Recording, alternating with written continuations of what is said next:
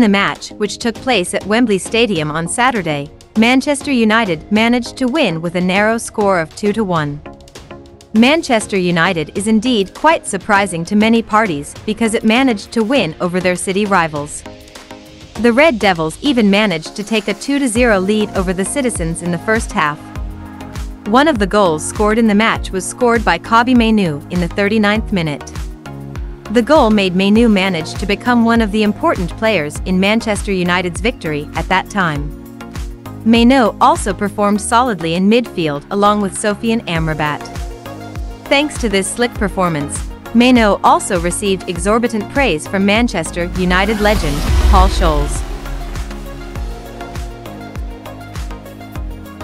According to a report by Fabrizio Romano, Scholes asked football connoisseurs not to compare Mainoo with him. Scholes reckons that the 19-year-old midfielder is already even better than him at the same age.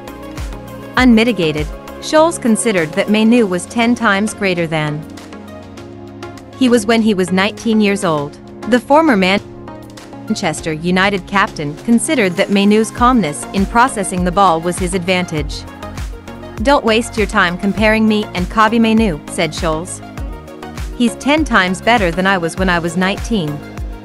I like the way he receives the ball, the composure, the awareness of what's around him and the big goals in big games.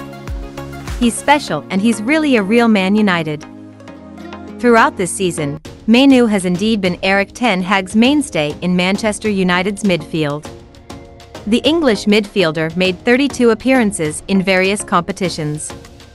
From those 32 games, Mainoo has scored 5 goals and 1 assist. The sweet fruit of that performance, he got a call to strengthen the England national team for Euro 2024.